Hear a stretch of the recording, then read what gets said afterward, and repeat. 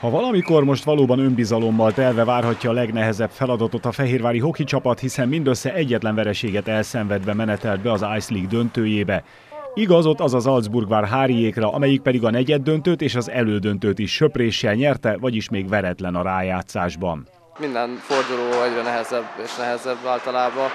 Ők voltak a szezon legjobb csapata idáig. Biztos nehéz lesz, de ahogy mondtam, jó eséllyel megyünk ennek neki, és két viszonylag egyforma csapat csap össze. Azt gondolom, hogy itt nem az ellenfélekkel foglalkoznunk, hanem saját magunkkal, ahogy mondott, a saját önbizalmunkat építettük szépen a szezon során, és ahogy már mondtuk sokszor, az edzőstáb minket teljesen felkészít arra, hogy ők mit fognak csinálni, és igazából egész szezonban ugyanazt csinálták, úgyhogy tudjuk, hogy mire készüljünk. Azt hiszem, hogy ha elvégezzük a dolgunkat, akkor bármi lehetséges. A Kevin Konstantin vezette edzői stáb tehát eddig is minden segítséget megadott a csapatnak, és biztosak lehetünk benne, az Salzburgra is alaposan felkészíti a fiúkat.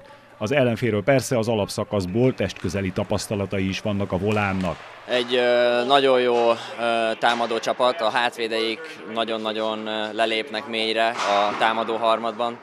Mi ügyes kis passzokkal, kicsippelésekkel meg tudjuk őket verni, és akkor kontrákból talán helyzeteket tudunk kialakítani, és érvényesíteni tudjuk őket. Uh, a liga legjobb csapata az Salzburg, hiszen megnyerték az alapszakaszt, nincsenek gyengeségeik, de szerencsére támaszkodhatunk arra a négy meccsre, amit játszottunk ellenük korábban a szezonban.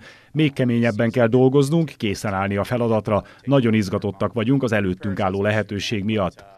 Hétfőn délben egy fehérvári edzés után kelt útra a csapat Salzburgba, ahol kedden 19.45-kor kezdődik az Ice League döntőjének első mérkőzése. Az első hazai meccs pedig csütörtök este lesz az ifjabb Ocskai Gábor jégcsarnokban.